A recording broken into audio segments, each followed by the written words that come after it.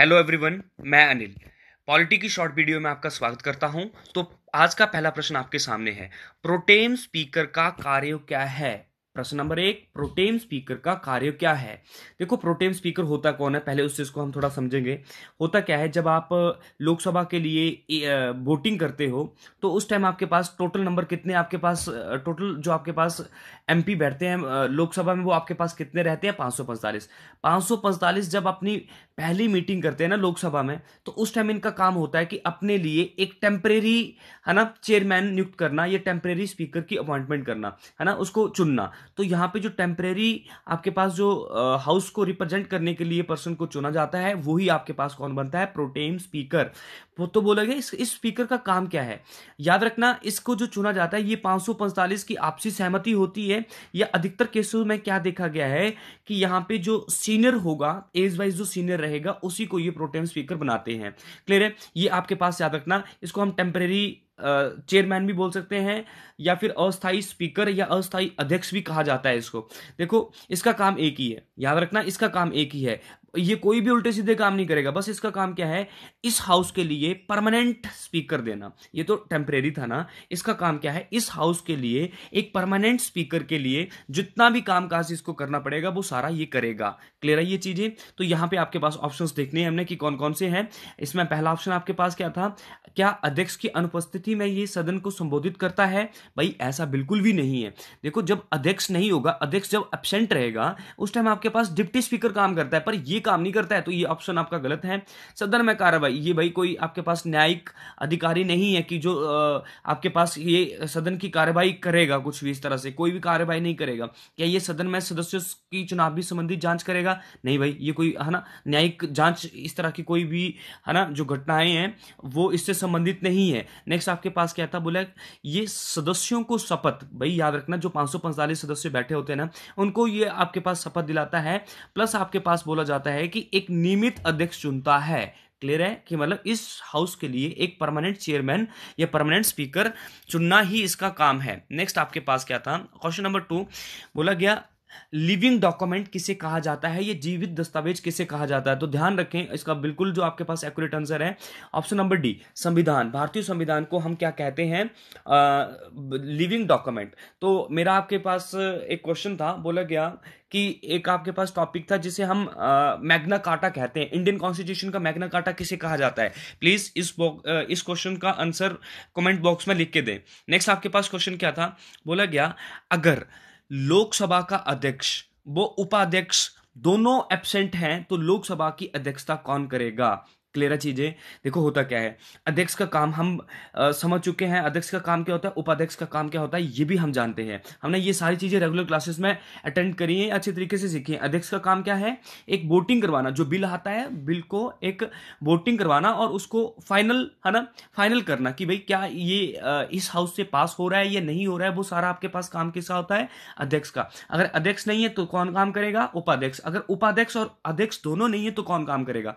याद रखना कभी प्रधानमंत्री काम नहीं करता है, राष्ट्रपति कभी काम नहीं करता है, इसका जो सीनियर पर्सन है, इस हाउस का जो सीनियर पर्सन है, ये कभी आपके पास ऐसा काम नहीं करेगा। यहाँ पे क्या होता है, बोला जाता है जो लोकसभा का स्पीकर था वो आपके पास एक पैनल बनाता है और उस पैनल में जो आपके पास एक मेंबर होगा, उसी को यहाँ पे अपॉइंट करके जाएगा अध्यक्ष की मेरे जाने के बाद या उपाध्यक्ष भी नहीं होंगे तो उसके जाने के बाद आप में से कोई एक व्यक्ति यहाँ पे काम करेगा, वो आपके पास प्री डिस्क्राइब्ड रहता है स्पीकर के द्वारा। तो नेक्स्ट आपके पास क्वेश्चन क्या था?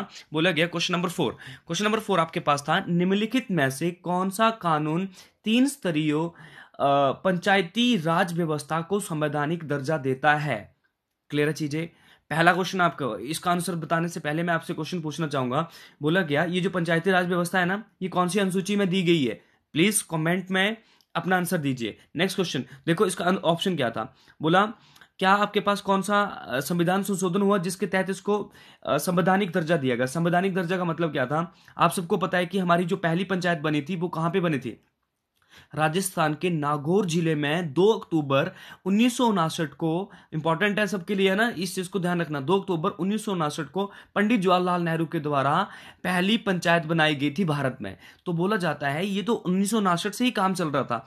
ये, पर पहले संविधान में ये चीज़ें नहीं लिखी थी कि नहीं, एक पंचायत होनी चाहिए। जैसे पढ़ते हैं ना अनुच्छेद नंबर बावन के तहत देश का एक राष्ट्रपति होना चाहिए। तो पहले ऐसा नहीं लिखा गया था कि अनुच्छेद नंबर इसके अकॉर्डिंग पंचायती राज होने चाहिए। तो यहाँ पे वही पूछ रहा है कि अब तो हमें पता है कि ऐसा है। एक अनुच्छेद बोलता है, अनुच्छेद नंबर दो आपके पास ऐसा कहता है।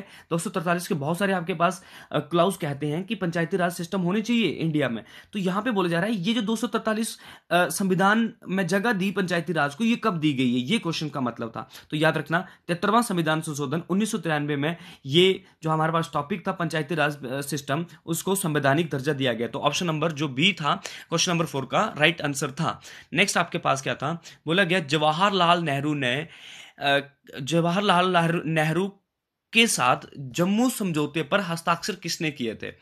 ये आपके पास अच्छा क्वेश्चन है। बोला जाता है कि एक आपके पास एग्रीमेंट था वो आपके पास जम्मू एंड, जम्मू और कश्मीर जो आपके पास एक प्रांत है, हमारा उत्तरी भारत का जो हिस्सा है, उसके रिगार्डिंग आपके पास एक समझौता था। इसके ऊपर हस्ताक्षर कौन करता है? याद रखना, नाम था मेजर महाराजा हरि सिंह। क्या नाम था? महाराजा हरि सिंह। महाराजा हरि सिंह और जवाहरलाल नेहरू के बीच में समझौता हुआ था 26 अक्टूबर उन्नीस याद रखना कब हुआ था? 26 अक्टूबर उन्नीस सौ सैंतालीस। इस समझौते के अनुसार क्या शर्तें रखी गई थी हरि सिंह के द्वारा? बोला गया, हम भारत में शामिल होते हैं पर हम हमारा एक अलग संविधान होगा और अगर इंडिया चाहेगी तो इंडिया को तीन क्षेत्र में छूट दी जाएगी कि इंडिया का कॉन्स्टिट्यूशन केवल यहाँ पे तीन फ़ील्ड में काम करेगा। एक आपके पास फ़ील्ड थी एक क्षेत्र था आपके पास था विदेशी मामले दूसरा था दूर दूरसंचार मतलब जो आपके पास कम्युनिकेशन सर्विसेज़ है वो इंडिया यहाँ पे आ, अपना इम्प्लीमेंट कर सकता है और एक आपके पास लास्ट क्या था डिफेंस या जो आपके पास सेना व्यवस्था है उसको यहाँ पे स्थापित कर सकता है। उसके अलावा अगर कोई भी काम इंडियन गवर्नमेंट को करनी होगी या इंडिया के कॉन्स्टिट्यूशन को करना होगा तो पहले जम्मू एंड कश्मीर लेजिस्लेचर की आपके पास अनुमति लेनी पड़ेगी तभी आपके पास ऐसा होगा। तो मतलब सिंपल सी बात क्या हो रही है? एक एग्रीमेंट बना था जब हमारे पास जम्मू और कश्मीर के जो आपके पास रियासत के राजा थे रा, हरी सिंह वो पहले ना इंडिया की तरफ़ आ रहे थे ना पाकिस्तान की तरफ़ आ रहे थे। इस इसके पीछे जो पूरी स्टोरी थी वो हम अपनी रेगुलर क्लासेस में पढ़ चुके हैं। बस आपके लिए आंसर क्या था? हरी सिंह के साथ एक समझौता हुआ था कब हुआ था छब्बीस अक्टूबर उन्नीस नेक्स्ट आपके पास क्वेश्चन क्या था? बोला गया प्रिवेंटिव डिटेंशन नजरबंदी का अर्थ क्या है? टॉपिक समझ क्वेश्चन समझ आ रहा है नजरबंदी का अर्थ क्या है? पहले इसका ऑप्शन पढ़ो। पूछताछ के बिद, के बाद हिरासत में लिया जाना भाई गलत है है ना? किसी को पूछा जाता नहीं है जब प्रिवेंशन डिटेंशन का आपके पास एक टॉपिक चलता है उसका मतलब कुछ और ही है। उसका मतलब है ऑप्शन नंबर बी पूछताछ के बिना ही हिरासत में लेना। क्या ऑप्शन है? ऑप्शन नंबर बी पूछताछ के बिना ही हिरासत में लेना। इसका क्या एजेंडा रहता है? ऐसा काम करने का एजेंडा क्या रहता है? याद रखना, इसका एजेंडा क्या रहता है? प्रिवेंशन प्रिवेंशन प्रिवेंटिव डिटेंशन का एजेंडा क्या रहता है? अपराध से पहले ही, है ना? अपराधी को, अपराध करने से पहले ही रोक लेना। अपराधी को अपराध करने से पहले ही रोक लेना। अभी उसने प्लान किया था कि भाई मैं दिल्ली में बम गिराने वाला हूँ। पर अब हमारी जो खुफिया एजेंसी है, खुफिया एजेंसी ऐसा पता लगा लेती कि नहीं, ऐसा होने वाला है। तो वो चुपचाप जाके उस पर्सन को टारगेट करती है, उसको बिना कुछ बताए उसको, है ना, अपनी कस्टडी में ले लेती है। तो वो ही आपके पास क्या है? प्रिवेंटिव डिटेंशन अभी अपराध होने वाला था, पर उस चीज़ को पहले ही रोक दिया गया। प्रिवेंटिव डिटेंशन नेक्स्ट आपके पास क्या था? इंपॉर्टेंट क्वेश्चन है क्वेश्चन नंबर सेवन बोला जा रहा है, बोला गया, संयुक्त राष्ट्र। संयुक्त राष्ट्र या यूनाइटेड नेशन ने किस दिन मानव अधिकारों पर अपनी सार्वभौमिक घोषणा की? देखो ह्यूमन राइट्स आपको पता है, सबसे बड़ा टॉपिक बनता है। बोला जाता है ह्यूमन राइट्स के ऊपर आपके पास जो यूनाइटेड नेशन था यूनाइटेड नेशन ने एक, अपना डॉक्यूमेंट तैयार करा और बोला जाता है, उसमें लगभग 500 से ऊपर ह्यूमन राइट्स लिखे गए कि मतलब ये जो है, ये मानव के अधिकार हैं और उसको मिलने चाहिए, है ना? तो ये बोला जाता है, ये इस तरह का काम यूनाइटेड नेशन के द्वारा कब किया गया, जिसको हम क्या बोलते हैं डिक्लोरेशन ऑन ह्यूमन क्लियर है? तो बोला जाता है, इस तरह का काम कब किया गया? याद रखना, हमें पता है 10 दिसंबर 1948 को यूनाइटेड नेशन ने डिक्लेरेशन डिक्लेरेशन ऑन ह्यूमन इस तरह से अपना कॉन्सेप्ट दिया, या फिर आपके पास एक डॉक्यूमेंट तैयार किया, जिसमें ह्यूमन राइट्स की बात हो रही थी, लगभग 500 से ज़्यादा आपके पास उसमें राइट्स की बात करेगी थी, जो कि एक एक समान या एक, जो एक सामान्य तौर पे जो आपके पास व्यक्ति रहते हैं, हर किसी को उस तरह के अधिकार मिलने चाहिए। तो यहाँ पे आपके पास नेक्स्ट क्वेश्चन क्या बनता है। बोला जाता है, इसी की वजह से हर हर साल 10 दिसंबर को मानव अधिकार दिवस सेलिब्रेट किया जाता है। तो आपसे क्वेश्चन क्या बनता है? बोला जाता है कि भैया, अगर हम बात करें ह्यूमन राइट डेज़ की तो ह्यूमन राइट डे हर टेन दिसंबर को या दस दिसंबर को सेलिब्रेट किया जाता है। अच्छा आप सबके लिए एक छोटा सा क्वेश्चन एक और। बोला गया, जो भारत में मतदाता दिवस है ना, वो कब मनाया जाता है? प्लीज़ इस चीज़ को कमेंट बॉक्स में पक्का आंसर के रूप में, है ना, लिखे। तो ये एक और मैसेज सबके लिए, देखो, यहाँ पे जितने भी हम क्वेश्चन डिस्कस कर रहे हैं ना, वो जो हम रेगुलर क्लासेस में पढ़ते हैं, उससे अलग है। तो सबका काम क्या बनता है? इन सारी चीज़ों को, है ना, ढंग से पढ़ते चलो। नेक्स्ट क्या था? Article number three three fifty six क्या है? देखो article number three fifty six की बात करें, क्या बोला? वो कोई राष्ट्रीय आपातकाल है? राष्ट्रीय आपातकाल क्या मतलब नेशनल इमरजेंसी है? नहीं भाई, वो नेशनल इमरजेंसी नहीं है। क्या बोला? वो राष्ट्रपति शासन है? ये क्या वो वित्तीय आपातकाल है? तो याद रखना, जो हमारे पास राष्ट्रपति शासन है या प्रेसिडेंट रूल है, वही आपके पास आर्टिकल नंबर 356 है। तो इसका जो बिल्कुल राइट आंसर है, वो ऑप्शन नंबर बी बिल्कुल राइट आंसर है। तो याद रखो, आर्टिकल नंबर 356 आपसे आपके पास क्या कहलाता है? राष्ट्रपति शासन। और इसके अनुसार होता क्या है? जब किसी राज्य में कोई, है ना, दिक्कत आ जाती है, एक पर्टिकुलरली एरिया में कोई, है ना परेशानी आ जाती है, कोई मतलब टेररिज्म अटैक हो जाता है। तो पूरे इंडिया को कोई दिक्कत देने की, है ना, बात नहीं है। तो यहाँ पे एक ही स्टेट को वहाँ पे प्रेसिडेंट रूल के अकॉर्डिंग है ना, रखा जाता है। तो वो आपके पास आर्टिकल नंबर 356 था। नेक्स्ट आपके पास क्या था? राष्ट्रपति शासन। पहली बार किस राज्यों में स्टार्ट किया गया? देखो प्रेसिडेंट रूल की बात करी जा रही है। याद रखना प्रेसिडेंट रूल अलग है। प्रेसिडेंट रूल आपके पास किस आर्टिकल के तहत लगता है? 356 और एक आपके पास चलता है नेशनल इमरजेंसी, वो आपके पास किसके अनुसार आपके पास इमरजेंसी लगती है? आर्टिकल नंबर 352 तो यहाँ पे आपके पास बिल्कुल सही जो आंसर था, राष्ट्रपति शासन पहली बार किस राज्य में लगा, याद रखना पंजाब। नेक्स्ट क्वेश्चन की तरफ़ मूव करो। बोला गया क्वेश्चन नंबर टेन आपके पास था। राष्ट्रीय आपातकाल को सदन में किस बहुमत से पास करवाना आवश्यक है? National emergency. अभी हमने बात करी, किस आर्टिकल के तहत आपके पास नेशनल इमरजेंसी बताई जाती है? आर्टिकल नंबर 352 आप सबके लिए क्वेश्चन, आर्टिकल नंबर 352 का आज तक कितनी बार यूज़ किया है? प्लीज़ अपना आंसर कमेंट बॉक्स में ज़रूर लिखें।